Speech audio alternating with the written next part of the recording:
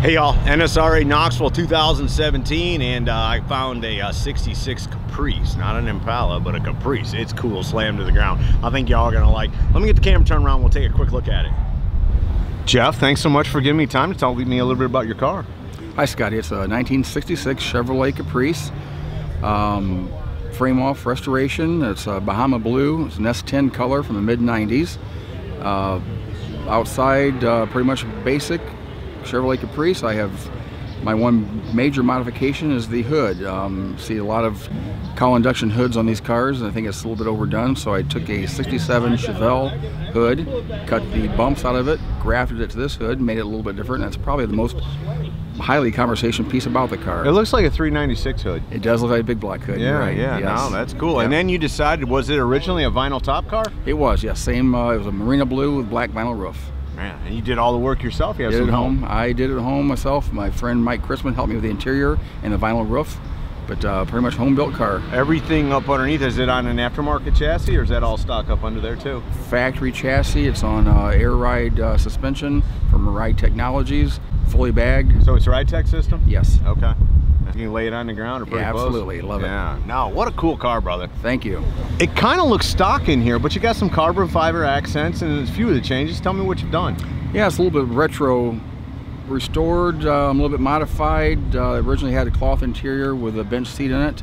Uh, I've added, um, pulled that out, uh, homemade console, waterfall type console.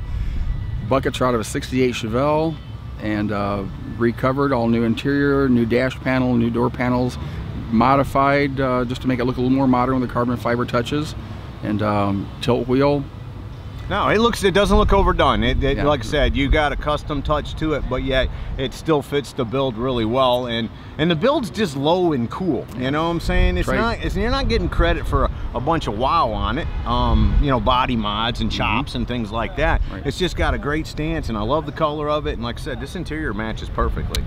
Thank you very much. It's uh, What powers this beast? it's got a Chevrolet 350 cubic inch tune port induction out of a 1985 Corvette, 704 R4 transmission, and just a stock rear end in it. Have you done anything tuned it up, or is it about stock horsepower? Pretty much stock. It's a rebuilt uh, ZZ4, not a Z- rebuilt. It's Right. a ZZ4 with a tune port induction, fuel injection. Very cool.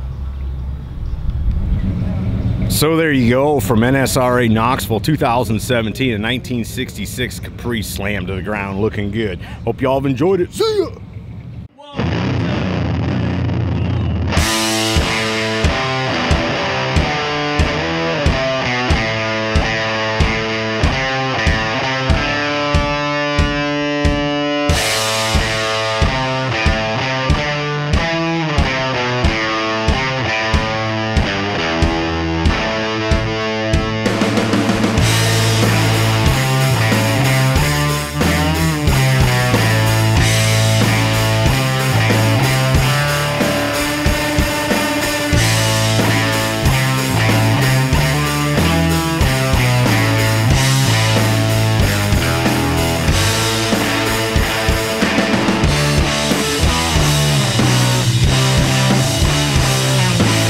Hey y'all, don't forget to visit scottydtv.com for more cool content and an easy way to search the hundreds of videos I have posted. Either click the link in the description or the logo at the end of this video.